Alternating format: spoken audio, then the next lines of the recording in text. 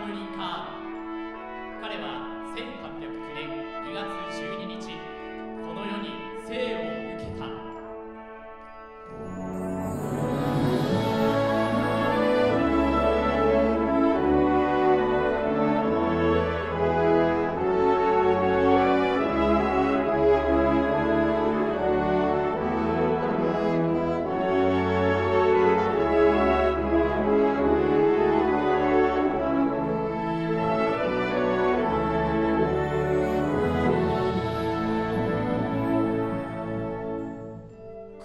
に満ちた境遇で育った彼は知識を得るためあらゆる書物を自ら読んだ。全てを独学に頼るしかなかったのである。彼は後に若者たちへこう語った。学習の場がどこであろうと誰から学ぼうとさして変わらない。大切なことは成功を目指すための信念である。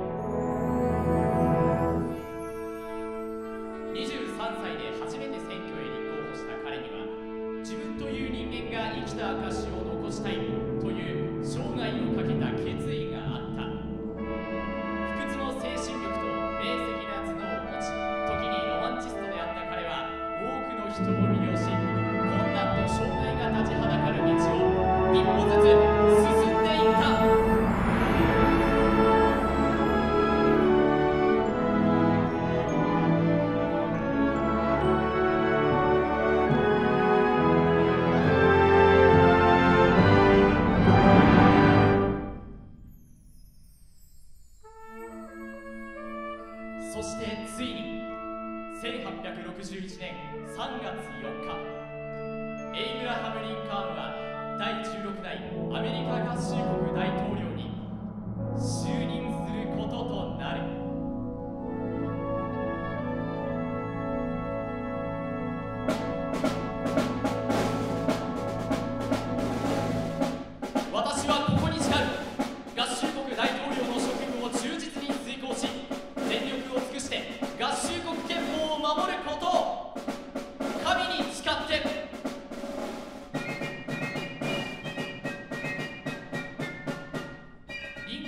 大統領に就任するとホワイトハウスは嘆願をするたくさんの人々であふれ返った。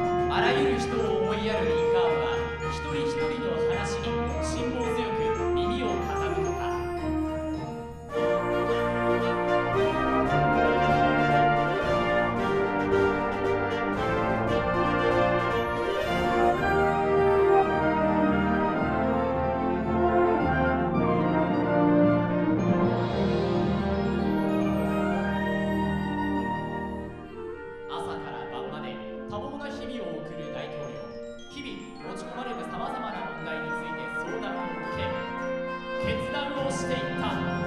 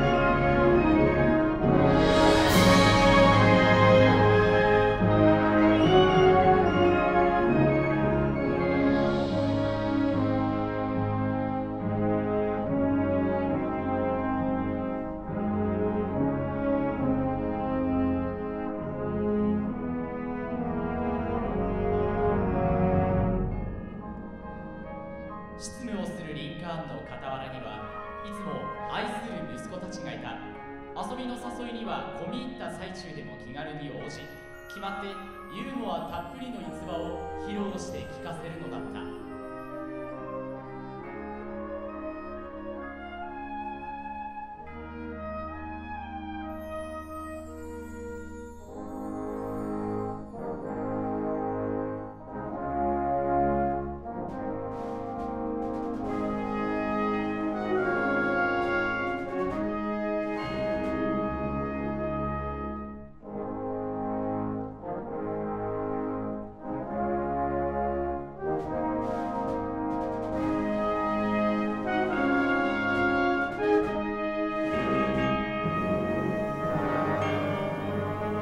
miss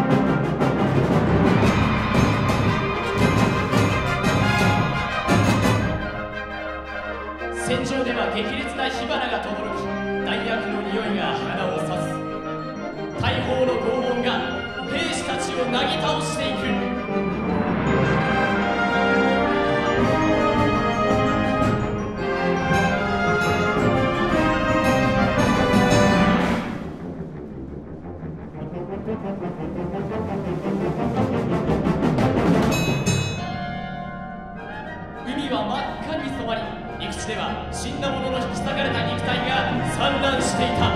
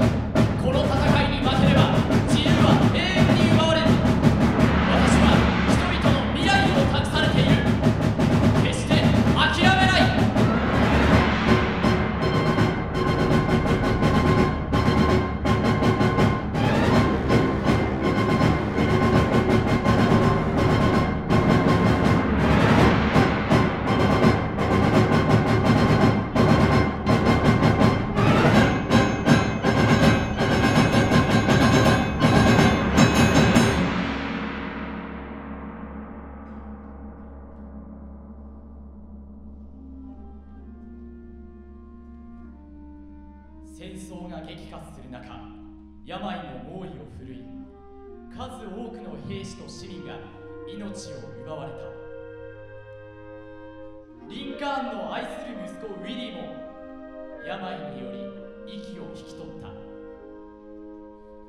戦争で愛する者を失った家族たち残された者は皆逃れられない死の悲しみと向き合った。